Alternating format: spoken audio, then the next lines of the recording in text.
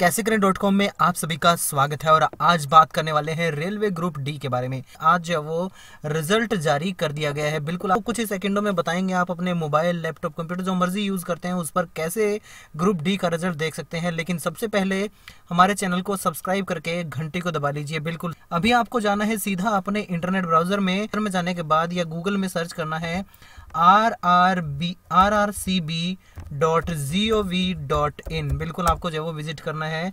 R R C B dot G O V dot in पर जैसा आपको दिखाया जा रहा है। यहाँ पर जो आपको ये मिलेगा, यहाँ पर सबसे पहले नीचे की तरफ़ क्लोज का बटन मिलेगा, उस पर क्लोज कर दीजिए।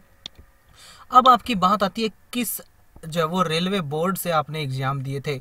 यहाँ पर आपको अदर बोर्ड्स का ऑप्शन मिलेगा, इस पे चले जाइए और अगर आपने किसी भी बोर्ड से दिया है, उसका चुनाव जो आपको कर लेना है। अगर भुवनेश्वर से दिया है, मान लीजिए तो आप भुवनेश्वर का चुनाव कर लीजिए। आपको भुवनेश्वर की जो वेबसाइट है, वहाँ पर लेकर के जाया जाएगा।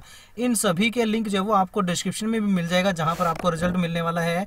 यहाँ पर देखिए वेबसाइट ओपन होगी, यहाँ पर आपको मिलेगा रिक्रूटमेंट का ऑप्शन यहाँ पर रिज़ल्ट का ऑप्शन मिल जाएगा। लेकिन आप नीचे भी जाएँगे तो भी यहाँ पर देखिए दिखाया गया list of candidate shortlisted for physical test यानी फ़िज़िकल टेस्ट के लिए जिन लोगों को चुनाव हुआ है, उनका यहाँ पर लिस्ट मिल जाएगी। आप इस पर क्लिक कीजिए। जैसे आप इस पर क्लिक करते हैं, देखिए आपके सामने डाउनलोड होगी ये फ़ाइल तो उसके बाद आपको लिस्ट जो वो पूरी दिखाई देगी। देखिए, नीचे की तरफ़ आप जाएँगे, यहाँ पर देखिए आपको रोल नंबर मिल जाएँगे उन सभी के।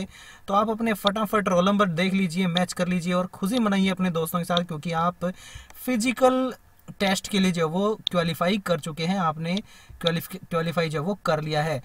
अभी उम्मीद है आप लोग जान पाए कि ग्रुप डी का जो वो रिज़ल्ट कैसे देख सकते हैं। जानकारी अच्छी लगी, लाइक करना।